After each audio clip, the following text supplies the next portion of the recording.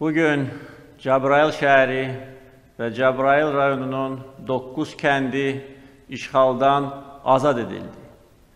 Bu tarixi hadisə münasibəti ilə bütün Azərbaycan xalqını ürəkdən təbrik edirəm. Cəbrayıl Vətən müharibəsində işğaldan azad edilən ilk şəhərimizdir. Cəbrayıl rayonu 1993-cü il avqustun 23-də Ermənistan silahlı qüvvələri tərəfindən işğal edilmişdi. Doğma yurd yerimiz 27 il işğal altında qaldı. İşğal nəticəsində Cəbrayıl rayonuna 13,928 milyard ABŞ dolları məbləğində ziyan dəydi. 1050 kvadrat kilometri əhatə edən 52 min nəfər əhalisi olan rayon ərazisi və bu ərazidəki 72 ümum təhsil məktəbi, 8 xəstəxana, 132 tarixi abidə, 150 mədəniyyət ocağı, 100-ə yaxın kənd ermənilərin işğalına məruz qalaraq vəhşicəsinə dağıdıldı. 1-ci Qarabağ müharibəsində Cəbrayıl rayonundan 362 nəfər şəhid, 191 nəfər əlil oldu. 6 nəfər rayon sakini Azərbaycanın milli qəhrəmanı adına layiq görüldü. Cəbrayıl şəhəri 2020-ci il oktyabrın 4-də Ermənistan işğalından azad edildi. Prezident İlham Əliyevin ötən il iyulun 31-də imzaladığı sərəncama əsasən hər il oktyabrın 4-də Cəbrayıl şəhəri günü qeyd olunur. Xatırladaq ki, 2020-ci il 27 sentyabr tarixində Cəbrayıl rayonunun Böyük Mərcanlı və Nizgar kəndləri, 3 oktyabr tarixində Mehdili, Çaxırlı, Aşağı Maralyan, Şeybə və Qurcaq kəndləri, 4 oktyabr tarixində Cəbrayıl şəhəri və rayonun 9 kəndi, Karpulu, Şükürbəyli, Çərəkən, Daşkəsən, Horovlu, Mahmudlu, Cəfərabad, Yuxarı Maralyan və Deca kəndləri işğaldan azad olunub. Cəbrayıl rayonunun ərazisində aparılan hərbi əməliyyatlar nəticəsində ümumilikdə bir şəhər və 90 kənd işğaldan azad edilib. Cəbrayıl şəhərinin işğaldan azad olunmasına Azərbaycan prezidenti Ali Baş Komandan İlham Əliyev oktyabrın 4-də xalqa müraciətində elan edib.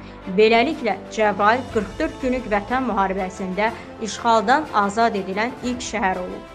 2020-ci il noyabrın 26-sında Cəbrailin azad olmasına görə medalı təsis edilib.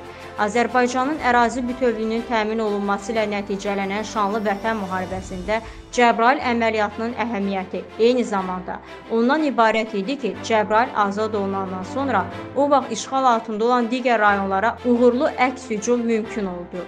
Cəbraildən sonra Azərbaycan ordusunun Xocavənd rayonunun cənub kəndləri və strateji Hadrut qəsəbəsi istiqamətində hərbi əməliyyatlar keçirməsi üçün geniş imkanlar yarandı. Üstəlik Zəngilan, ondan sonra Qubadlı və Laçın rayonunun cənub hissəsi işğalçılardan azad edildi və Laçın dəhlizi Azərbaycanın nəzarətinə götürüldü. İşğaldan azad edilmiş ərazilərə Azərbaycanın mülki vətəndaşlarının qayıtması, eyni zamanda onların təhlükəsizliyinin təmin edilməsi baxımından bir çox addımların atılması artıq zərurət idi. Ötən ilin sentyabrın 20-sində Qarabağda uğurla başa çatdırılmış bir sutkalıq lokal antiterror tədbirləri regiona və dünyaya yeni reallıqların gətirilməsinə yol açdı. Bu gün işğaldan azad edilmiş ərazilərə həyat yenidən qayıdır. İşğaldan azad olunan Cəbrayıl rayonunda son 4 il ərzində bərpa və abadlıq quruculuq işləri aparılır. Prezident İlham Əliyevin tapşırığına uyğun olaraq işğaldan azad edilmiş ərazilərə böyük qayıdışa dair birinci dövlət proqramına əsasən yenidən qurulan Cəbrayıl şəhərinə, Respublikanın müxtəlif ərazilərində yataqxana, sanatoriya, pioner düşərgəsi, yarımçıq tikililər və inzibati binalarda müvəqqəti məskunlaşmış ailələrdən ibarət ilk köç karvanı Bakı şəhərinin Qaradağ rayonundan yola salınıb. İlkin olaraq Cəbrayıl şəhərinə 36 ailə 117 nəfər köçürülür. Bakı şəhərinin Qaradağ rayonundan Cəbrayıl şəhərinə yola salınan köç karvanı şəhərə çatıb, sakinlərə evlərin açarları təqdim olunur. Doğma yurda qayıdan Cəbrayıl sakinləri hər tərəfi dövlət qayğısı ilə əhatə olunduqlarına görə Prezident İlham Əliyevə və birinci vitse-prezident Mehriban Əliyevaya təşəkkür ediblər. Onlar həmçinin torpaqlarımızı işğaldan azad edən rəşadətli Azərbaycan ordusuna, qəhrəman əskər və zabitlərimizə minnətdarlıqlarını bildirib, bu yolda canlarından keçən şəhidlərimizə rəhmət, ailələrinə səbir diləyiblər.